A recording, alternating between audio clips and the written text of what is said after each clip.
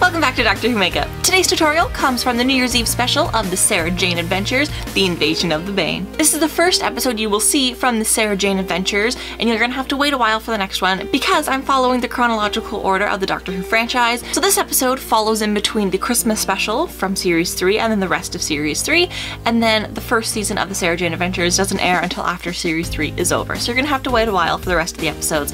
But since this one chronologically follows the order and the pacing that I'm in, this is the look that you're gonna see today. I'm gonna be recreating Sarah Jane Smith's makeup from this episode, so let's get started. Before we begin this tutorial, I've already put on my concealer and my foundation and set it with some powder. Starting off with the eyes today, and instead of primer, I'm going to be applying the Maybelline Color Tattoo in number 55 Inked in Pink. You want to apply this mostly to the outer three quarters of your eye.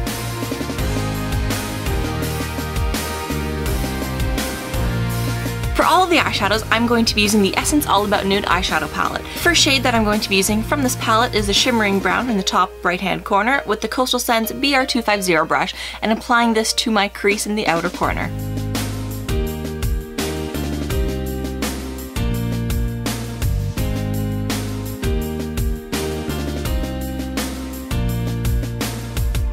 Over top of the rest of the eyelid, I'm going to be applying the matte pink color with the Coastal Scents brush BRC N51.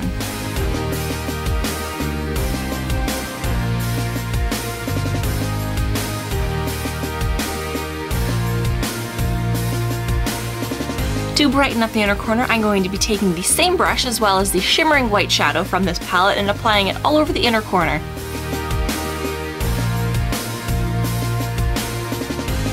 To darken up my eyes but make it look as though I'm not wearing eyeliner, I'm going to be applying the Essence Gel Eyeliner Pencil in Waterproof in Brown, which doesn't actually have a name.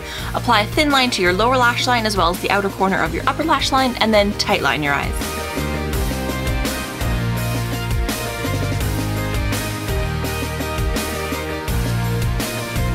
For mascara, I'm going in with my favorite at the moment, and it is the Maybelline Lash Sensational in Very Black. Apply an even coat to both your upper and your lower lashes.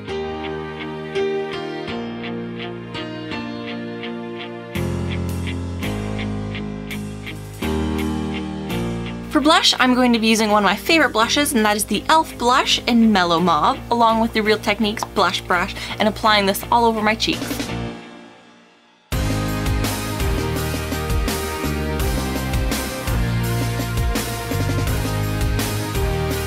For highlight on my cheeks, I'm actually going to go back into that shimmering white shade from the Essence All About Nude palette with my Forever 21 Fluffy brush and apply this to my cheekbones.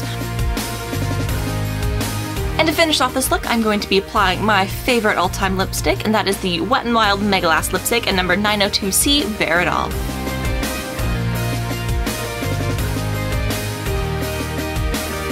And this is finished makeup look. I hope you enjoyed watching, and you will see more tutorials from the Sarah Jane Adventures in the near future, but until then, I will see you next time.